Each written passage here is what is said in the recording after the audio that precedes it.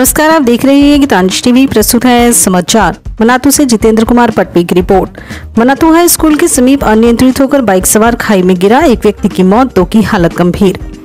Manatu high school नोडीहा मोड़ के समीप अनियंत्रित होकर बाइक सवार गहरी खाई में गिर गया। सूचना मिलते ही मनातू पुलिस घटनास्थल पर पहुँच, प्राथमिक उपचार के बाद मेदिनी नगर सदर हॉस्पिटल भेज दिया गया। जानकारी के अनुसार एक व्यक्ति की मौत हो गई है और दो की स्थिति नाजुक बनी हुई है। सूत्रों ने बताया, उक्त बाइक सवार पाटन प्रखंड के तेहरवा टाण से के निवासी हैं। मनातू शादी विवाह को लेकर कपड़ा की खरीद करने गए थे।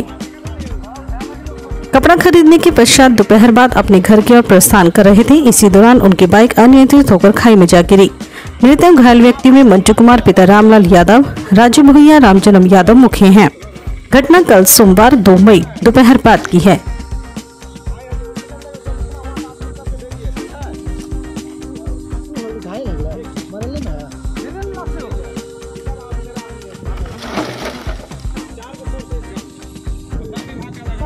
बंधन मैरिज हॉल, नवादा मोड़, दुर्गा मंडप के बगल में गढ़वा। किसी भी शुभ अवसर, शादी, विवाह, जन्मदिन पार्टी, सालगिरह, मीटिंग आदि मौकों पर 450 कुर्सी की क्षमता वाली हॉल। पार्किंग की व्यवस्था सहित सुंदर गार्डन से सुशोभित बुकिंग हेतु संपर्क करें। प्रोपराइटर दीपक सोनी।